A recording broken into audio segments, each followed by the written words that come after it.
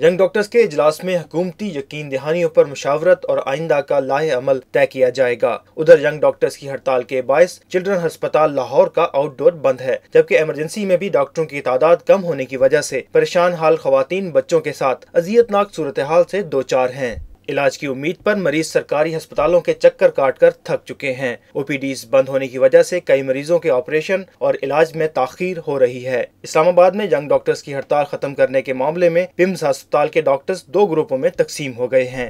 जराये का कहना है की पोस्ट ग्रेजुएट डॉक्टर्स ने हड़ताल खत्म करने से इनकार कर दिया है। पंजाब के दीगर शहरों में गुजरावाला, मुल्तान और बहावलपुर के सरकारी अस्पतालों में सूबाई हुकूमत से मुजाकर कामयाब न होने के बायस हड़ताल का मामला ज़ोर पकड़ रहा है।